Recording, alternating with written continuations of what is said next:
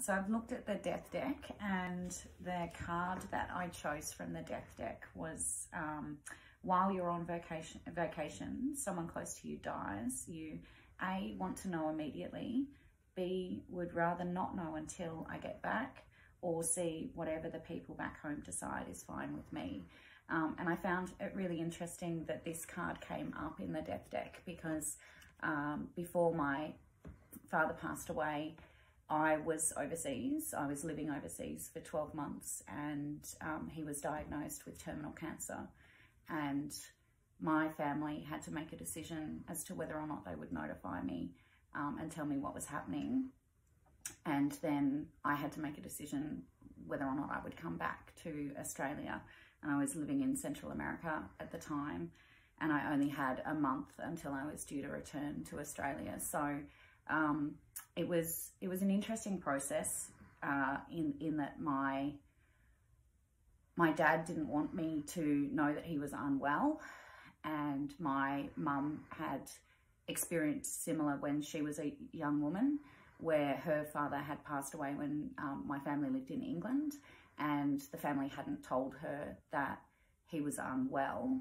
And so he died, and she hadn't been able to see him and return to Australia to um, say her goodbyes. So my mum felt really, really strongly that I should know what was happening for my father and that I should be able to have the choice as to whether or not I would return.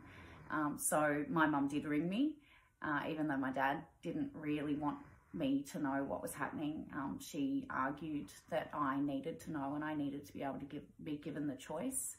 Um, so my family rang me, and this is this was a while ago now. So it was back when international phone calls were very expensive, um, and we didn't have Zoom or or connectivity and, video calls or anything like that. And she she rang me, um, and it was a it was a a short phone call, but it was a really important phone call where she told me um, what had been happening for my dad, um, in that he'd been diagnosed uh, a month earlier. He had been in Perth, uh, spending some time with my brothers, and he had um, become unwell. The doctors had made a diagnosis, and then he had needed then to be transported back to Victoria uh, to join my mum, and then to go into treatment in in Melbourne.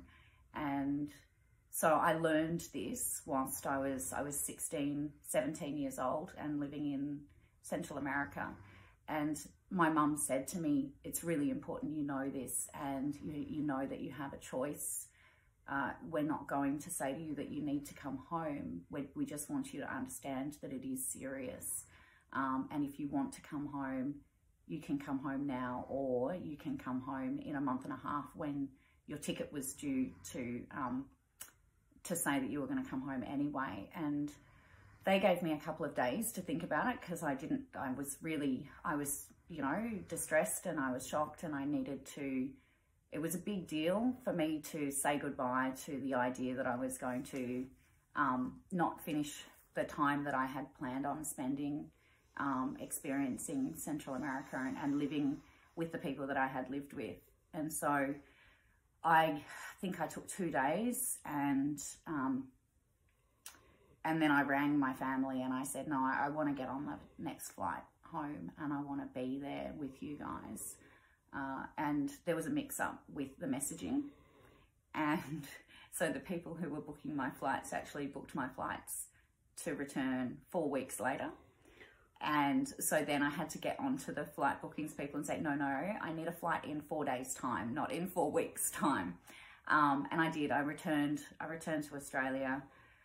Um, it was a rush, but it was a good decision. It was the right decision for me. It meant that I got to spend my last Christmas with my dad um, and that I could be with my whole family throughout his treatment um, and through his end of life. And it was tough, but it was, I would, I think I would have very much regretted having stayed and my, my head would have been somewhere else. My head would have been with my dad um, whilst I was experiencing other things. And so it was, it was great to be given the choice um, but also um, to take the time to make the decision and not be judged for making a decision either way. And I think my mum did it very, very well, and she did it based on the experience that she had had, um, and that was that was a real strength in in what she did.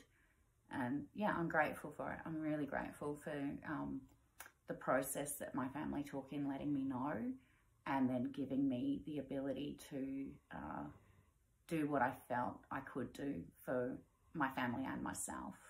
Uh, and it made a difference when when it came to the time where I had to say goodbye to dad um, forever, uh, it made a difference to know that I had been there. So yeah, that that was. It's a good question. It's a very good question to ask me because it's important. Um, yeah.